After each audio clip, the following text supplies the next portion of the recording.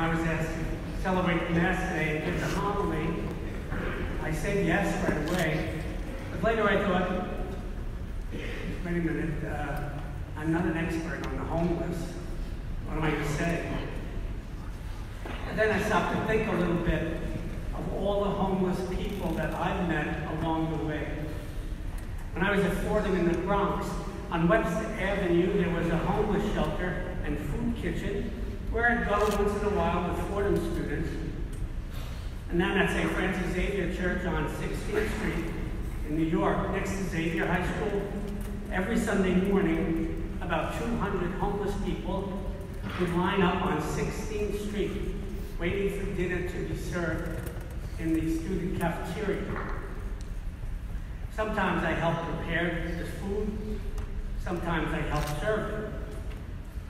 And now I live up on Bergen Avenue in Jersey City, up by Hudson Catholic, and next to St. Aidan's Church, if you know that place.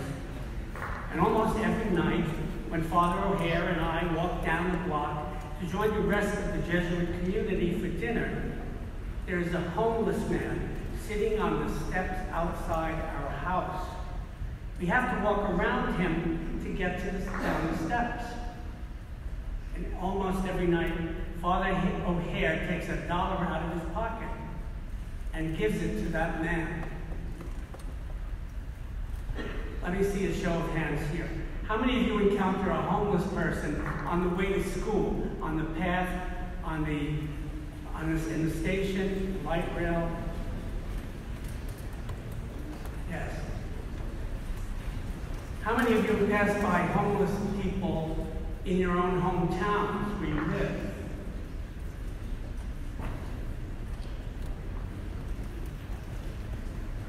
It seems like the homeless have been with us everywhere and for a long time. The prophet Isaiah in the 6th century before Christ lists homelessness along with other injustices in his time. Oppressed, the hungry, the naked, turning your back on your own flesh. Yes, our own flesh. Turning our back on them. People just like ourselves. His words were directed to people of faith, just like us, who thought they only had to pray or fast or go to worship to be considered good or holy or religious. Isaiah says, no, this isn't the way of God. God's way means first and foremost reaching out to those who are in need to correct social injustices. I asked Senior Tim Georgetti, a member of the uh, Arrupe Week Planning Committee, to offer some reflections on the readings and on his own experience.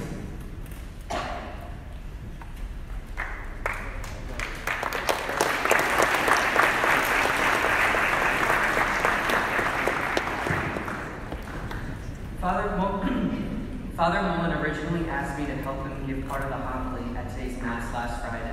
Nervous, scared, and unwilling to step beyond my comfort zone, I spent the entire weekend thinking about how I was going to politely tell Father that I wasn't going to help him. I was still juggling excuses in my head until right before Jim White gave our Arrupe Week keynote speech Monday morning.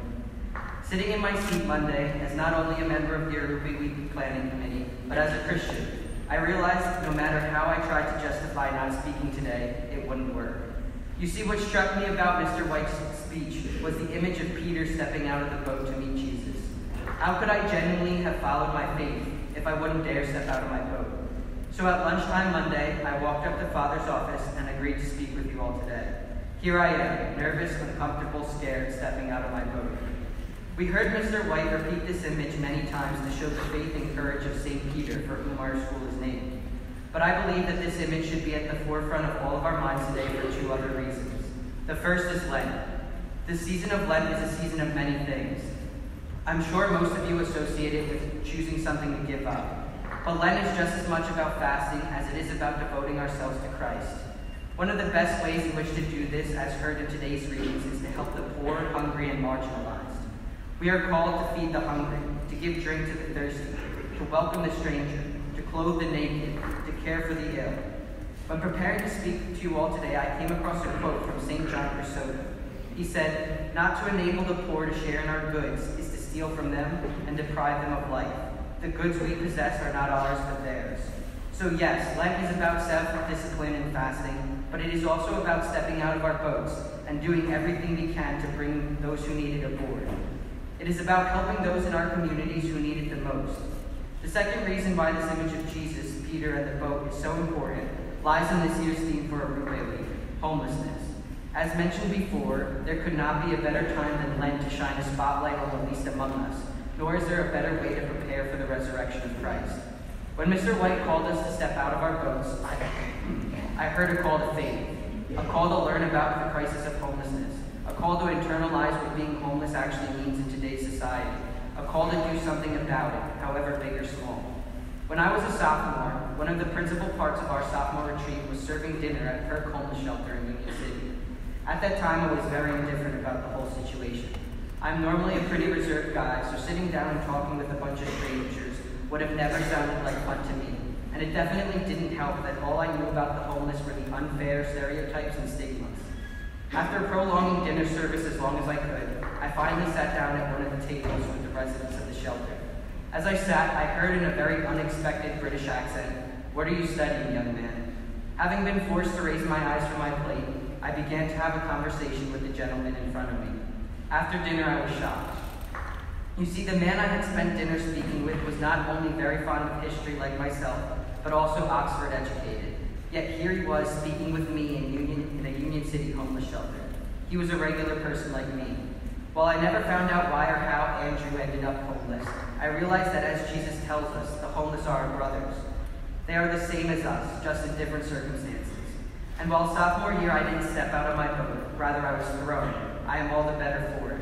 It was this experience that made me volunteer at PERC through Pax Christi every other time I had the chance. It also led me to take part in the LA mission trip, and it is undoubtedly why this year's Arrupe Week topic hits a special chord. You might think I was the one serving Andrew, but he really served me. My service to Andrew, the least of my brothers, brought me closer to Christ. So after the liturgy today, all of you will be attending Arrupe Week breakout sessions. I can personally tell you that a lot of time, effort, and care has gone into the selection of each and every one of the sessions. Continuing with this image of the boat, we as the planning committee hope you use these sessions as your life vest and swim They're designed to make taking that first step out of the boat as easy as possible. We urge you to, at the very least, Hang your feet over the edge, to listen with care, to reflect on your own life, to think of the least among us. Lastly, we hope that by the end of today, you all will be ready to step out of your boats and serve the homeless in your own personal way. Please take that step with me, because faith, with faith in Christ, the water will always be fine.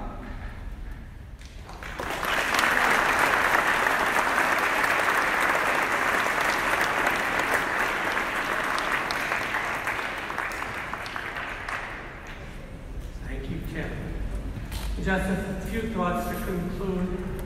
First, Tim said he was indifferent when he first went to Kirk and in Union City. Recently, Pope Francis said, for Lent, fast from being indifferent to the poor, the homeless, the needy. Fast from being indifferent. And secondly, Tim said that his service brought him closer to Christ. The same Christ who said, whoever, whatsoever you did for one of these least of my brothers and sisters of mine, you do for me. So let's go out. Don't be indifferent. Make a difference. Go out and meet your God. Be Christ in service to others.